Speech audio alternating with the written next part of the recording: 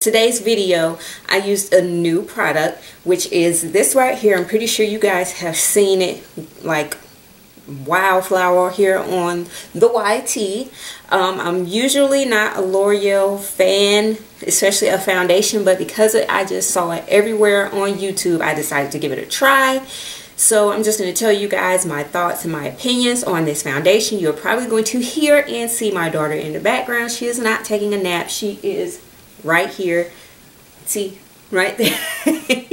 so you're probably going to see her jumping up on the bed behind me. You're probably going to hear her in the background. I do apologize, but I couldn't get her to stay in her room and watch TV. She wanted to be in here with mommy. So this is what life is like with children, especially little itty bitties and little divas. So I decided to just add in a little demo footage of me using the foundation. Right now I have just applied the foundation to my face. I use my finger. I just put a little bit of the foundation on the back of my hand and use my finger to apply it to my face. And now I am using a Real Technique cosmetic sponge or beauty sponge or whatever you want to call it. And I'm just using that to spread the product around and um, kind of yeah spread it around onto my face and blend it out and make sure it's just evenly distributed across my face on my skin. And I'm just going back in and blending it out. And if you guys are interested in seeing my final thoughts on this foundation be sure to stay tuned and finish off the video. L'Oreal girl. I tried the True Match and I just was not a fan of it whatsoever. I love Maybelline foundation so I wasn't too sure how I would feel about this but because people were just going crazy about it here on YouTube I decided to give it a try. Um, I am the shade 211 Cream Cafe. Um, I'm just going to tell you what this foundation boasts to do. It is supposed to be a radiant finish. It's supposed to have 24 hour up to 24 hour wear or staying powder power. It's supposed to be medium coverage and it's supposed to be an air-like texture. You're supposed to shake it really good before you apply it. Both times I forgot to shake it before I applied it. Bad girl, bad girl. So make sure you shake it well before you apply it. And I'm, it does have a, um, a broad broad spectrum SPF of 15. It's radiant finish for normal to dry skin and it's supposed to be a hydrating foundation. So I have applied this foundation because I am combination skin but I really only dry out around the corners of my mouth which is just so weird and disgusting and I also tend to dry out right in between my eyebrows and sometimes in my cheek area. The rest of my face is extremely oily so when I'm going for a foundation, I like to go for something that's supposed to be matte. I like something that's going to combat the natural oils that my skin produce. So um, anytime I'm wearing a foundation, no matter what it's supposed to do, no matter what it boasts to do, I always prime my face. Um, I always prime my face. I always set my concealer with powders, with my Ben Nye powders, the banana and the topaz. And so that's just what I'm going to do regardless. I don't care what the foundation is supposed to do. I'm always going to prime my face and I'm always going to set my concealer. Look at this little busybody back here. So that's what I'm going to do regardless. I don't care. So with this foundation, I did use my Becca um, Perfecting Primer. And um, I also set my face with powder.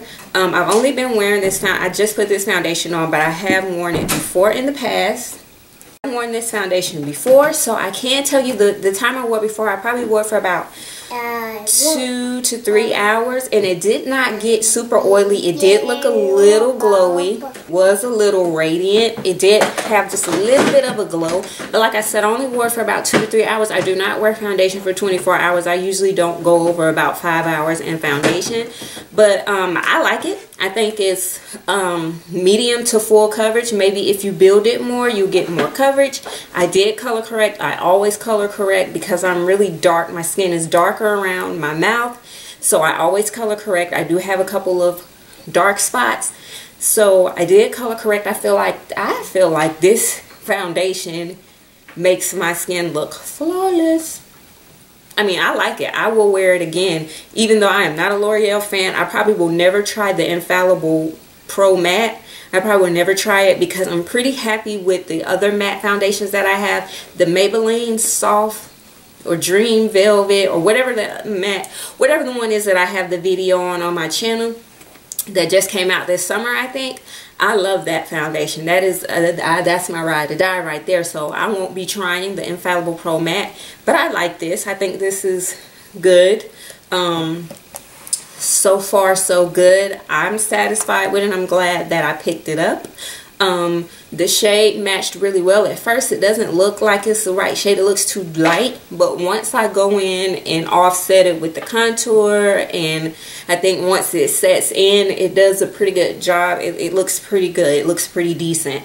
So I'm happy with this foundation. If you have been thinking about picking it up I say go pick it up. You can get it from Walmart for about $10 so if you guys have tried the foundation, if you have tried either foundation that I've talked about in this video, the Maybelline or the um, L'Oreal Infallible Pro Matte, comment down below. And even if you try, and of course, if you try this foundation, the L'Oreal Infallible Pro Glow, comment down below. Let me know what your experiences were and what you felt about the foundation. So, hi you guys, I am back and I am back with just a little check-in so you guys can see um, what the foundation looks like. I've been wearing it for about an hour and a half and I did have to run out to Walmart. So I was out in the sweltering heat. Is it sweltering or sweltering? Whatever. I was out in that extreme heat. It's like 100 degrees today, I think. When I was inside the truck, it was like 101. But I don't know. That could be a little incorrect. But I definitely look a little dewy, a little oily. I feel like I'm not that oily, just just a little dewy, a little glowy. Um, and that's just after an hour and a half, but I was out and I could feel my face perspiring and sweating, especially up in this area because it was just extremely hot. So, um, I don't know you can tell for yourself. You can look at it and see for yourself. It doesn't look that oily to me. I mean, it's nothing that I can't deal with. Of course, I haven't blotted or anything. I haven't applied any more. I haven't uh, taken off any. I have done absolutely nothing since you last saw me. So, all in all, I still think it's a pretty decent foundation. I have to say that I would wear this again. Um, yeah. I'll probably be throwing out that L'Oreal True Match because that was just crappy to me. But I really like this one. This definitely will be gracing my face yet again in the near future probably. Um, so yeah, I like it. This is the L'Oreal um, Infallible Pro Glow Foundation. Um, I don't see this being up to 24 hour wear. I mean, it probably could be if you blot and yeah, if you blot, if you're not that oily, like if you're a dry girl, if you're a dry skinner, if you're a dry skinner, this might not be so bad for you. But because I am an oily skin girl, I'm an oily girl, I don't think this would be a 24 hour thing. I think I would be looking like a straight up grease ball after about 10 hours. But thus far, I like it. It's been an hour and a half, maybe two hours. So it's it's, it's, it's worth it to me. Um, I would say go give it a try if you're curious. If you ain't curious, then hey, do what you need to do.